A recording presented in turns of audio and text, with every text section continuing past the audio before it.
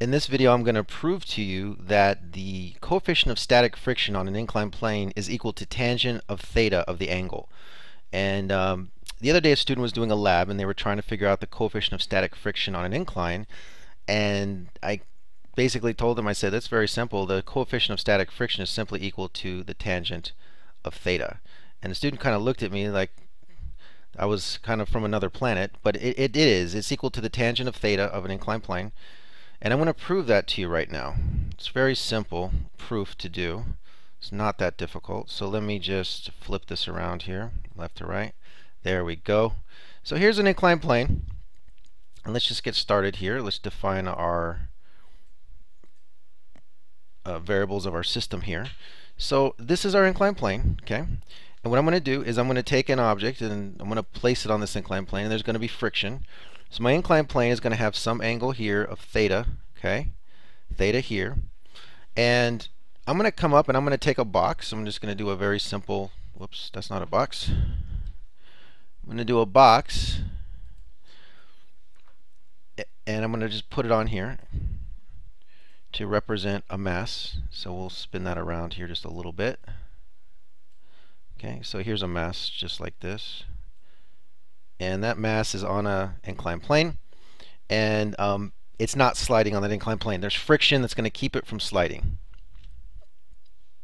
So what I want to do here is I'm going to give this a little bit of color here on properties. I'm going to make these uh, just a fill so you can see them. I'm going to make this like a yellow here and I'm going to make this basically, let's make this like, I don't know, let's just make this like a light green maybe, something like that.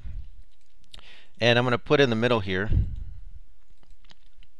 I'm going to fill that center of mass just so we can see that I have a center of mass there. And we're going to draw all the forces acting on this object.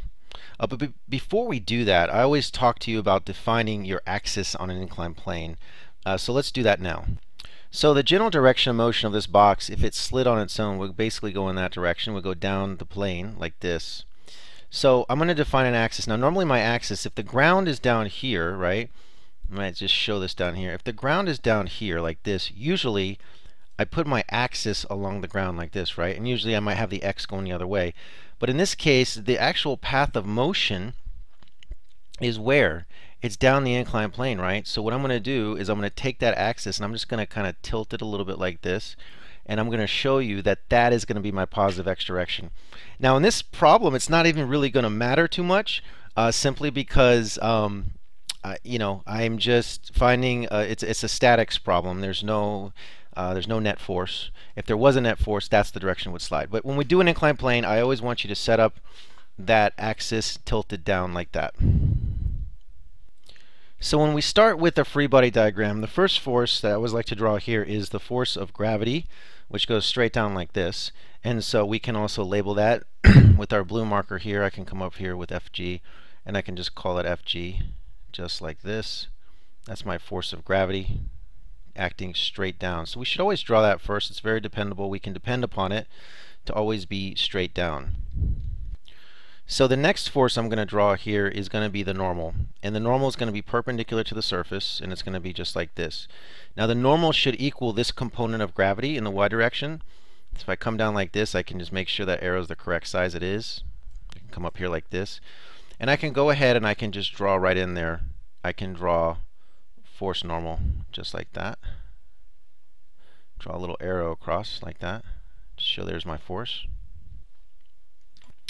And so finally I can take my force of friction and I can show that it's going to keep us from sliding down the inclined plane. And again, it's got to be along the surface here. Technically it is along the surface, but we're going to draw it at the center of mass.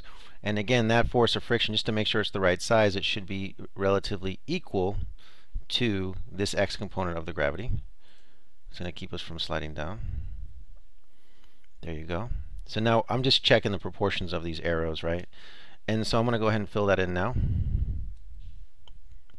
So that's the force of friction going against, you know, the, the mode, the direction it would want to go on its own. So what type of a situation do we have here? In terms of Newton's laws, what do we have here? We have the first law or the second law? What do we have going on here? Well, we actually have an application of the first law, Newton's first law. So what I'm going to do is I'm going to set these up over here, and I'm going to write Newton's first law out here.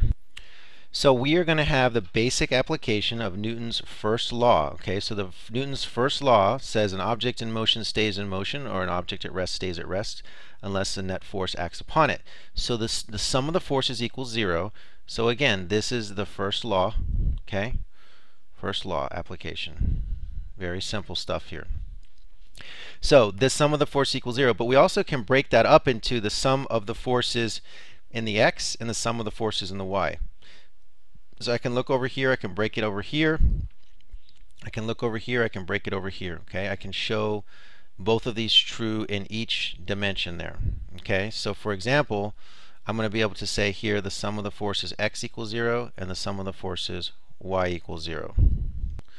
Okay, so if I have my sum of my forces equals 0 and the x equals 0 and the y equals 0, that's the first law, right? So I have to break my forces up into components here, okay? That's the first thing we have to do on this diagram because I have my new, my force normal is in the y and my force of friction is along the x. But my gravity's got a little bit of both, right? So let's write out the components of gravity here. Okay, so I can break up the force of gravity with these dashed lines here. I can draw out the components of this force, okay? So this, this force right here is simply going to be Fg cosine theta or this component here.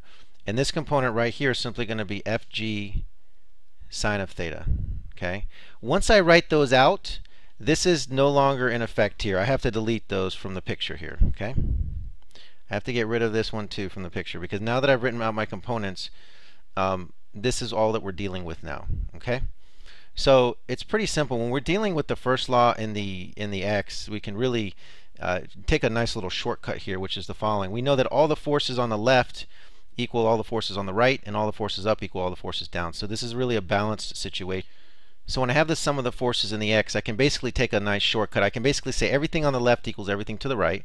And when I'm doing the sum of the forces in the y, I can basically say everything up equals everything down in terms of the forces. So it's a nice shortcut. It's pretty quick. And that's only works with the first law, by the way. The second law, you can't really do that. So what's the left and what's the right? Well, let's take a look here at our diagram here. I know that, um, just to clarify here, that the force of gravity is mg. So this is really mg cosine theta.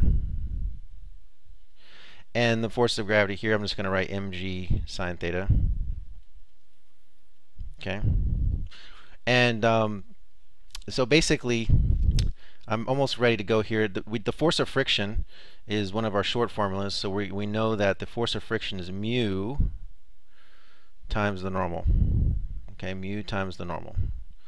I'm just kind of setting everything up on the free body diagram here, okay?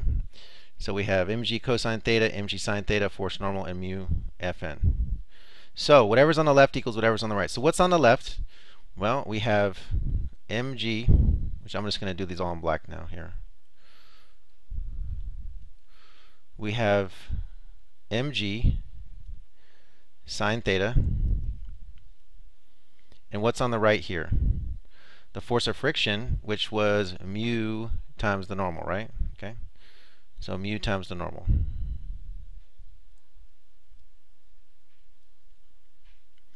Okay. And what's when we say the ups equal the downs, we're going to say the force normal equals mg cosine theta. So we're going to say the force normal equals mg cosine theta. Okay, so I'm going to call this equation 1, and I'm going to call this equation 2. Okay, so I can also just rewrite equation 1 like this. I can basically say mu times f of n. I'm just going to flip this around a little bit here to say equals mg sine theta. Nothing really changed, okay? I just rewrote it like that. So now we're going to do something very quick here. I'm going to show you how to divide equations. I bet you didn't know you could do that. Yes, you can do it. We're going to take, a, it's totally legal. We're going to take equation 1 divided by equation 2. Okay? So here's what we're going to get. This is really cool. Watch this. So mu times the normal equals mg sine theta